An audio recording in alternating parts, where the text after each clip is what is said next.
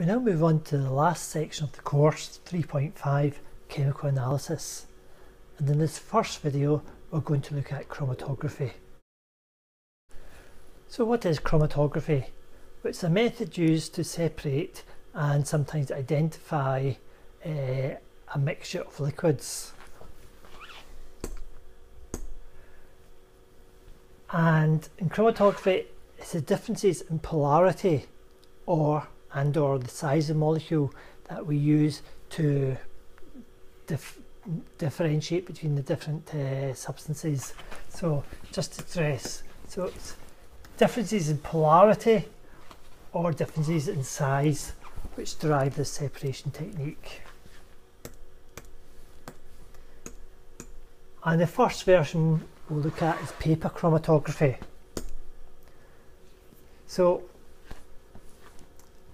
this is a classic example of paper chromatography when we use it to separate out the different dyes in a spot of black ink. So the spot of black ink is on the paper strip, which is, and the paper strip is the stationary phase.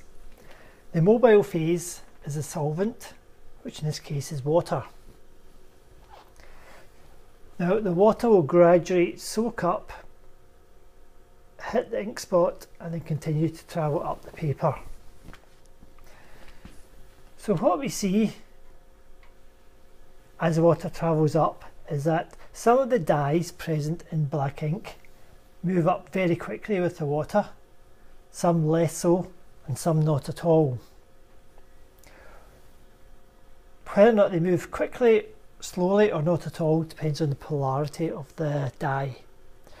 The, in this case the water is a very polar solvent so the very polar dyes will dissolve in the water and move the water. So the blue here would be a very polar dye and it's moved up very quickly with the water. The purple, polar but not quite as polar as the blue dye. Yellow, slightly less polar still. And then what's left on the dot down here uh, is actually non-polar and wasn't soluble in the water at all. So the more polar molecules would move up the paper faster with the polar solvent. A more sophisticated technique, but one that uh, schools don't really have the equipment to carry out, is gas chromatography.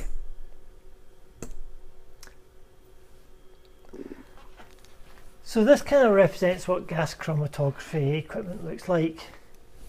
This spiral here is just a metal tube packed with some the stationary phase, some solid. Okay. The sample is injected in here along with the mobile phase, which is usually a gas. And you then time how long it takes for your substance to travel through the column and come out here where it is detected. So the stationary phase is usually polar and the mobile phase, the gas which has been pumped through in gas chromatography is usually non-polar. In fact, it's usually a noble gas like argon or helium because not only is it very non-polar but it's also totally unreactive and so won't uh, react with the substances you're trying to detect. Okay, so let's imagine we put a mixture of methane and ethanol into the sample, into this gas chromatograph. Okay. So, so let's imagine this is our methane.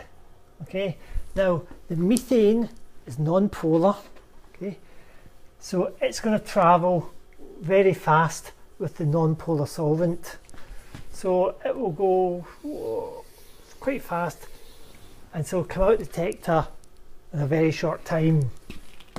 So what you get from a gas chromatograph is a spectra in which you get these peaks at different retention times. Now this one here had a relatively short retention time so let's say in this case this is our methane.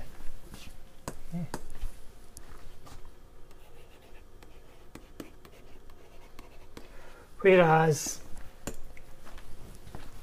the ethanol, if this is now represents our ethanol molecule, because the ethanol is polar because of the OH group, it will travel very slowly because it's more attracted to the stationary phase. So it'll be quite a long time before we eventually see the ethanol appearing out this end.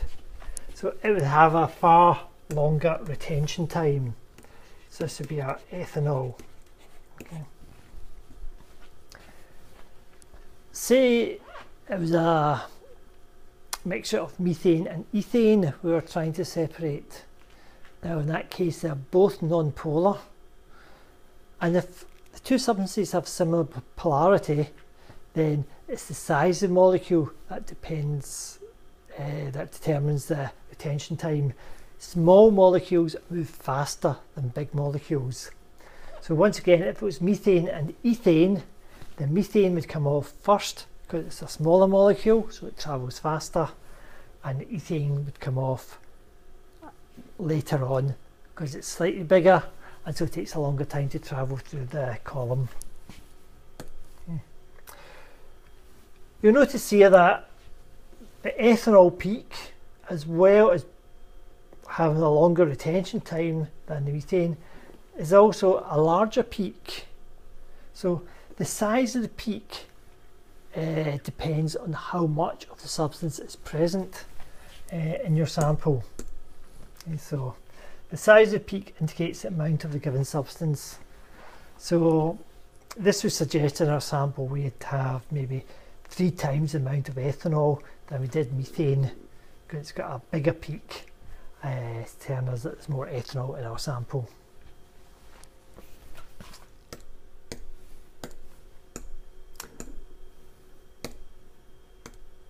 Okay, so what should you be able to know? What should you know about chromatography? Firstly, you should recall that chromatography separates substances mainly on the basis of polarity. And you also recall that if you have two samples, two substances with the same polarity, small molecules will travel faster than the big molecules. That goes for gas chromatography and paper chromatography and you should be able to interpret gas chromat chromatograph spectra, uh, be able to identify from it what samples are present, what substances are present in the sample, and what one has a greater concentration.